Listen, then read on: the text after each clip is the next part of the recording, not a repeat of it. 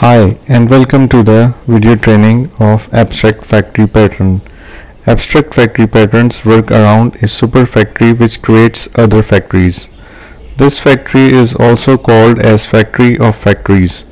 This type of design pattern comes under creational pattern as this pattern provides one of the best ways to create an object. An abstract factory pattern and interface is responsible for creating a factory of related objects without explicitly specifying their classes. Each generated factory can give the objects as per the factory pattern. Now let's look at the implementation of abstract factory pattern. We are going to create a shape interface and a concrete class implementing it we create an abstract factory class abstract factory as next step. Factory class shape factory is defined which extends abstract factory. A factory creator generator class factory producer is created. Abstract factory pattern demo our demo class uses factory producer to get a abstract factory object. It will pass information circle rectangle square for shape to abstract factory to get the type of object it needs.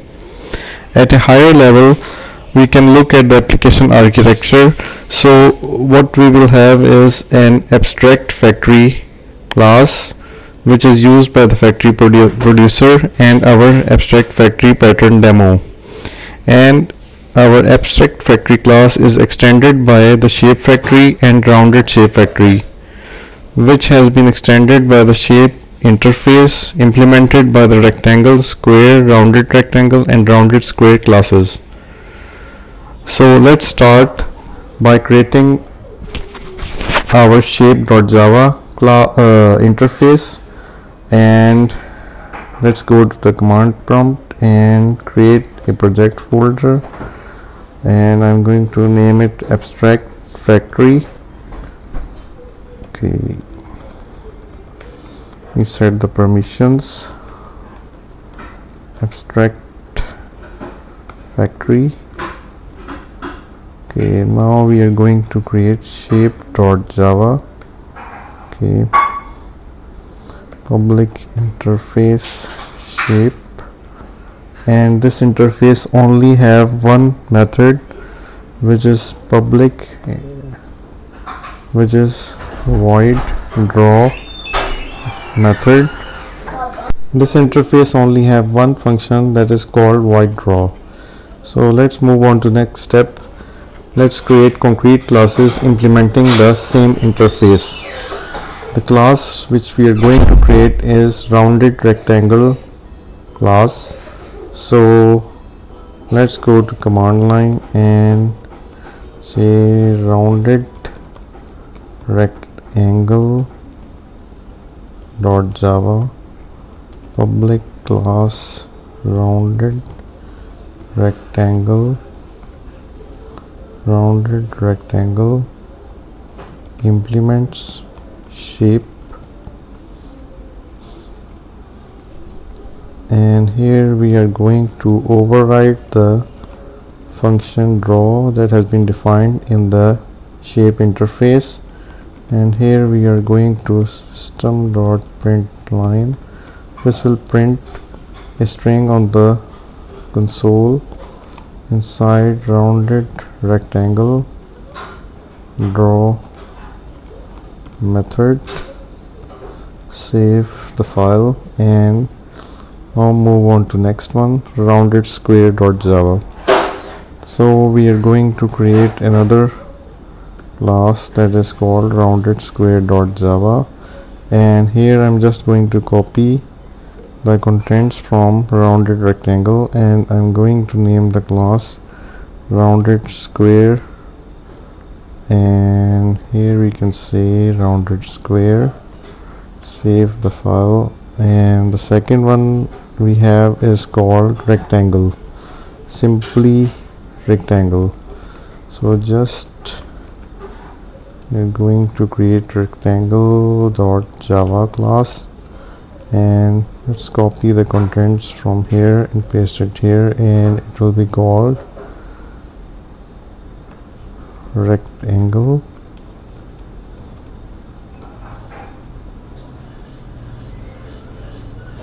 Rectangle dot draw okay.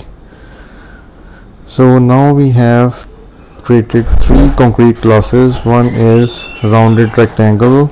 The other second one is rounded square and the third one is rectangle dot java class. Now let's create an abstract class to get factories for normal and rounded shape object. This abstract class will be called abstract factory dot java. So let's go on to the command line and create abstract factory dot java class and public abstract. Please note the abstract keyword being used. Abstract factory. The abstract keyword makes sure that no instance or object of this class can be initiated. And this class have a function called abstract shape get shape and it receives a parameter called shape type so the abstract class abstract factory have an abstract method which returns a shape and have a signature get shape and receives a string of shape type. In step 4 we are going to create factory classes extending abstract factory to generate object of concrete class based on given information. This class is called shapefactory.java. So we are going to create shape factory dot java and in this class we are going to shape factory okay and we have we are going to override extends abstract factory. So basically this class shape factory is extending our abstract factory class that we created in the previous step and it will override the abstract function called get shape public string public shape. It returns a shape and it receives a string shape type okay?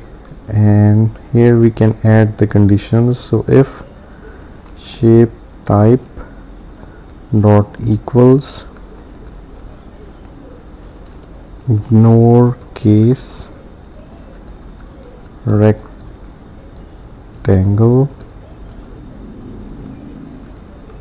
what we are going to do is we are going to return an object of rectangle class. Rectangle class. Okay else if copy this from here and we're going to say square. Sorry square. And this will return an object of a square class. Okay and that's about it. And it will return null if it doesn't found a match of the string being received. So let's move on to the second factory which is rounded shape factory.java it is similar to shape factory.java but it is for rounded shapes only.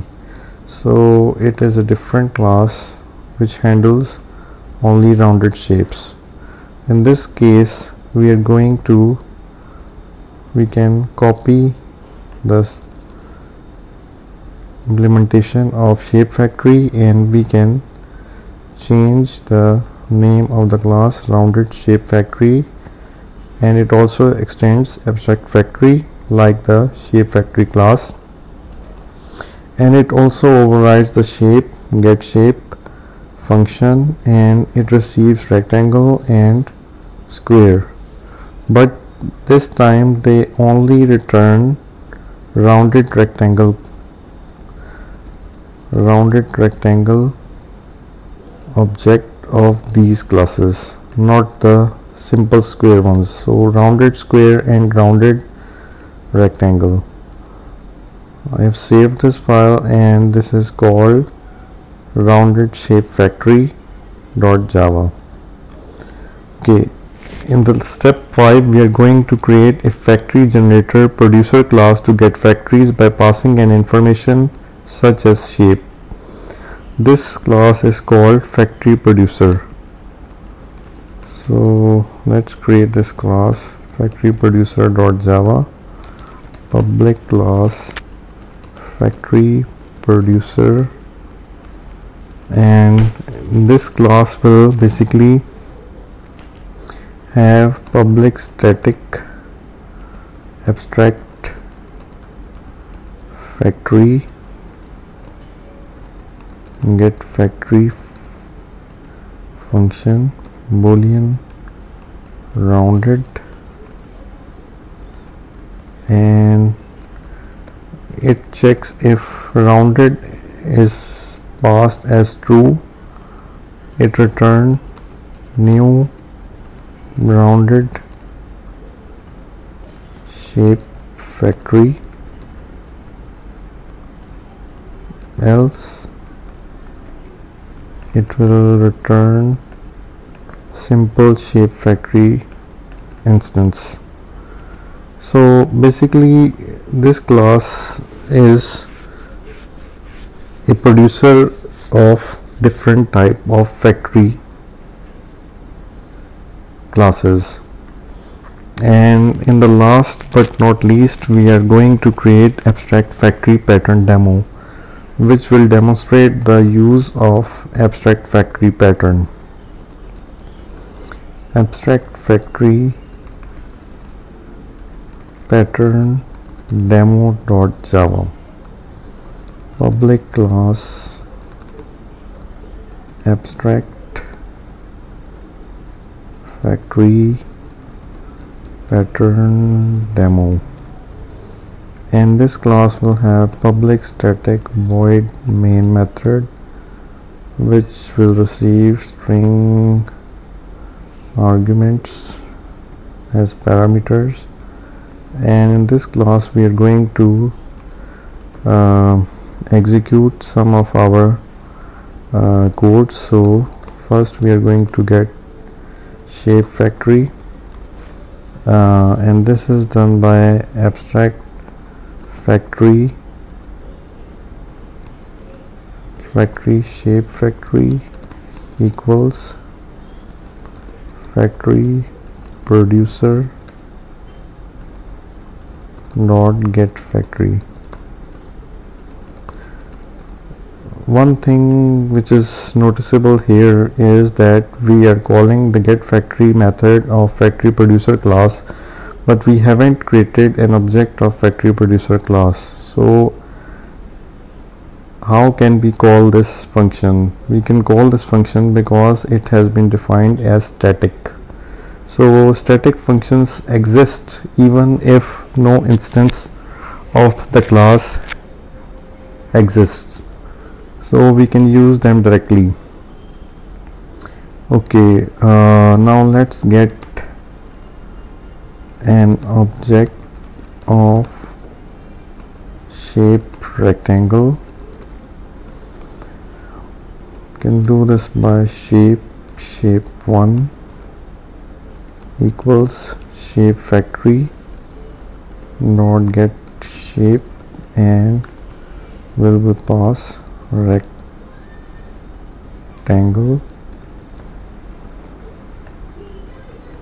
Okay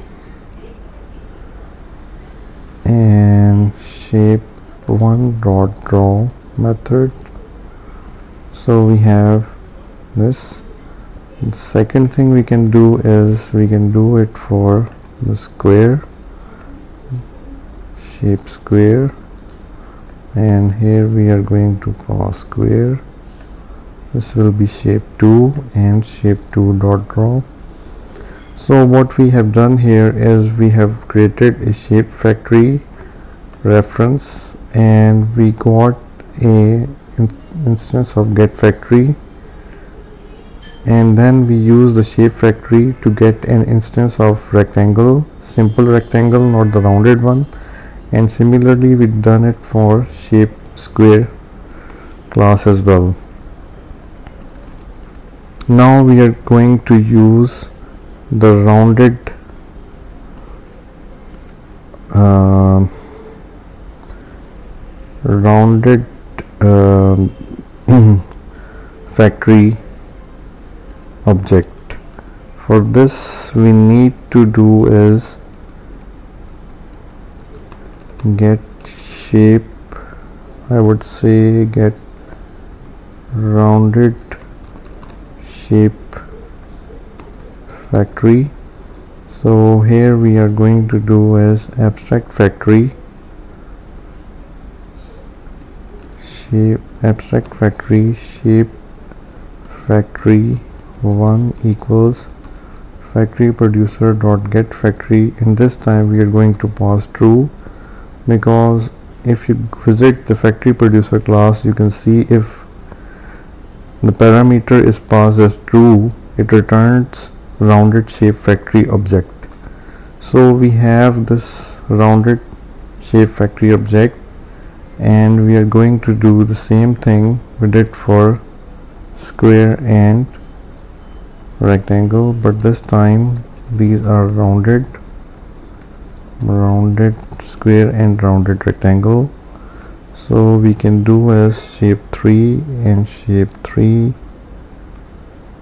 shape 3 and sorry this one it will be shape 4 shape 4 and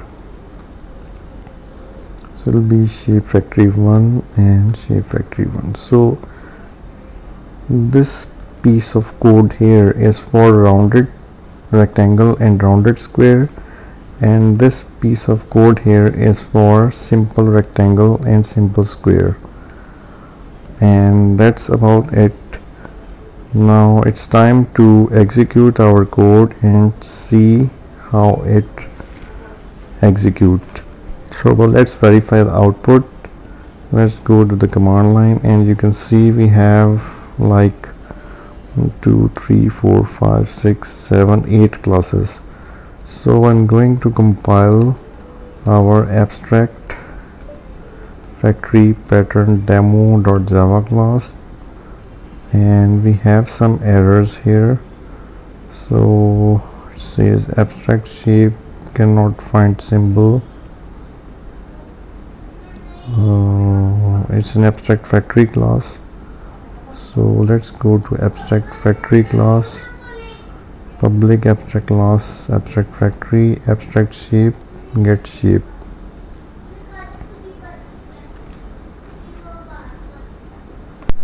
okay what we missed here is the shape.java class. We didn't save it so let's save this.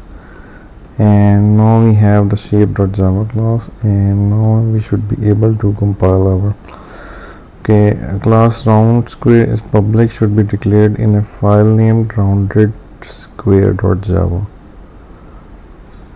public class rounded square implements shape rounded square. Where is rounded square? Okay. R O U N D E D. Rounded square dot java. Implements shape. Okay it has compiled fine and now we are, can run our abstract factory pattern demo class. Uh, section in I think the problem is we need to have the square brackets here.